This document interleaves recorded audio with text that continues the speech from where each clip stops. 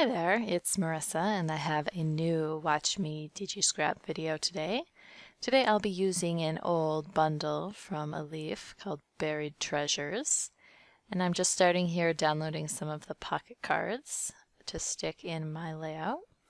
Then I will also download, I've decided I like all these papers, so I'm just going to go ahead and download the kit. And then I will come back later for some elements. So here is my spread for week 37. I already have my photos in place from the, the week. Um, and then later on I will come back in and add in these decorations. So I'm just putting in some of the pocket cards that I liked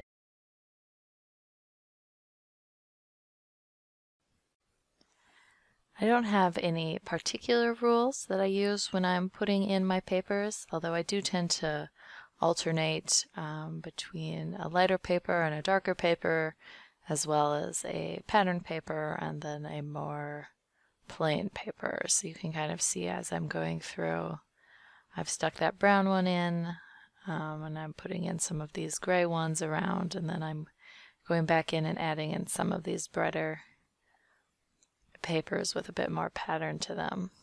Also, if there's a really distinct pattern, like this uh, navy one with the flowers on top, I will go ahead and add that in um, probably in three places to make kind of a triangle effect um, across the two pages. You can see there that I've got a bit of a triangle going on. Um, so that just helps to, you know, create cohesion between the two pages and to help people kind of, you know, take in the whole thing.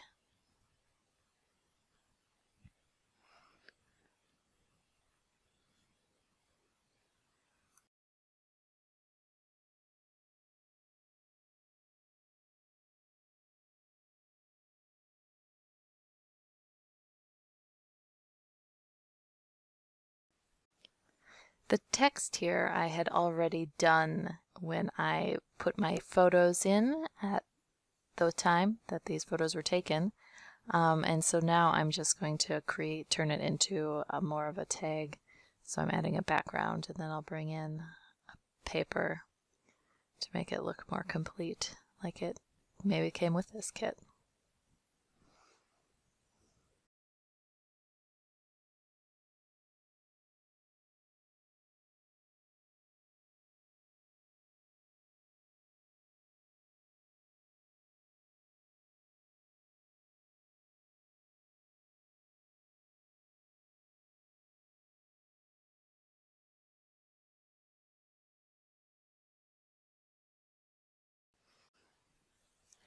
I'm going to add in here now the um, title of the place where we were, which is a state park that's right near our house.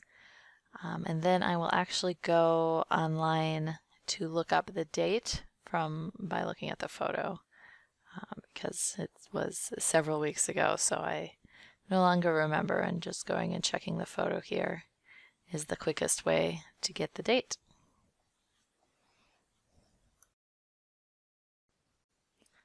So now I'm going to start placing my elements. I'm trying to think if I have any particular rules that I use when putting my elements in. I think I kind of just go for it. Um, you know, I keep, you know, a basic um, triangles in mind. You know, you want to create different triangles for the eyes to go to. Um, aside from that, I think I just kind of look and see what's available and see what I feel like putting in. so, not much help, but fun for me.